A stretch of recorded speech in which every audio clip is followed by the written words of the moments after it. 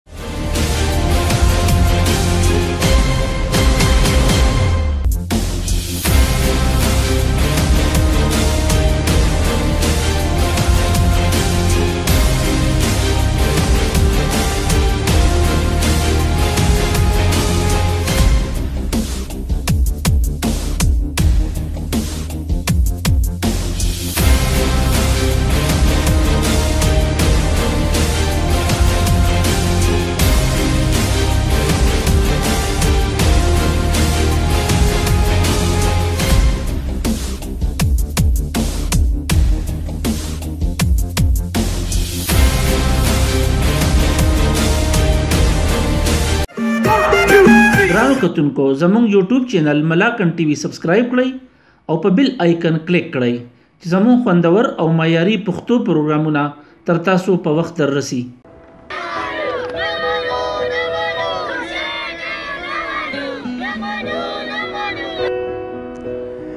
نن د لنډي کوتل تحصیل خیبر شیخوالو سره د بجلی او د اوبو د نشتوالي پر ضد یو احتجاجي مظاهره وشوه چې پکې ځوانانو مشرانو او ماشومانو په ګڼ شمیر کې برخه واخیسته هغوی تور بیرغونه په لاس کې نیولي وو او د انتظامیه او ابډا پر ضد یې نارې وهلې او پاک افغان سړک یې بند کړی و مظاهرهچیانو وینا وه چې دوی ته په څلوېښتو ګنټو کې یو ګنټه بجلي هم نشي ورکولی چې له مخه یې ځاني وګړي د سختو مشکلاتو سره مخ دي هغوی د حکومت نه غوښتنه وکړه چې د دوی بجلي دې سمه کړې شي او په ورځ کې دې کم از کم دوه درې ګنټې بجلي ورکړې شي چې د اوبو مسله حل شي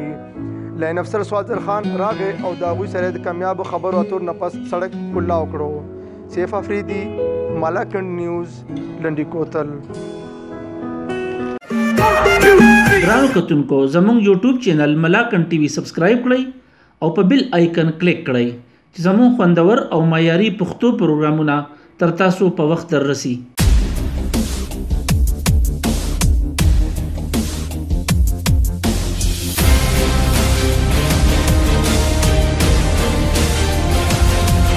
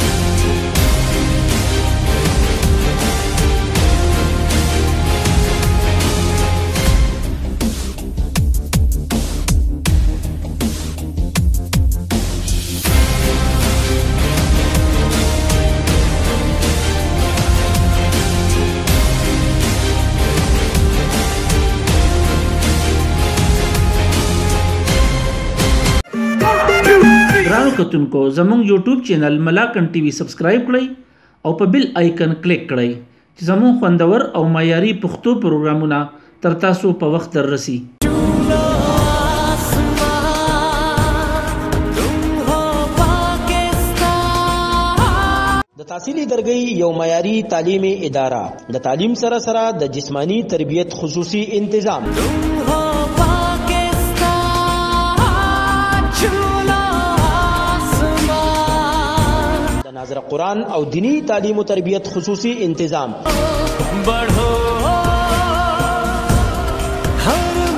هیلې پبلک سکول درګۍ مین جی ټي روډ درګۍ.